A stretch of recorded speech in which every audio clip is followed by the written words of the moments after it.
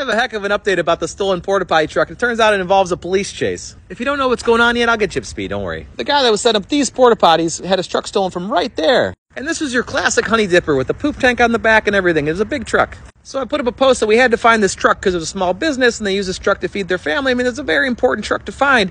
And we found it. Someone saw the Honey Dipper cruising down M10, called in the police. The police chased it. It was a 10 car chase until the brakes failed. The guy put the Honey Dipper into the wall, ditched it, and they recovered the truck. It has a little fender damage, brakes are exploded, the trailer's a little damaged, but they got the truck back. Now, I don't know which one of you found and called in the poop truck, but hats off to you.